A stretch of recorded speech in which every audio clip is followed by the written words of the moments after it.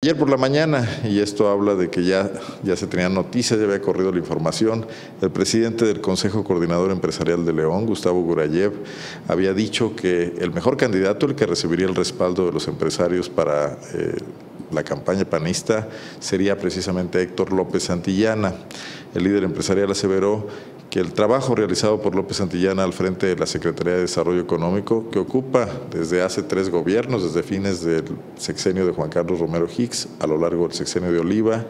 y en estos dos años de Miguel Márquez, pues ha sido sobresaliente, destacando las inversiones que se han logrado atraer al Estado. Esta opinión, dijo Gurayev, es compartida por todos los integrantes, no se anduvo con medias tintas, habló a nombre de todos del Consejo Coordinador Empresarial, donde se reúnen las diferentes cámaras empresariales. Esto fue lo que había declarado ayer por la mañana, antes de que se tuvieran las noticias ya ciertas de que López Santillana era el candidato,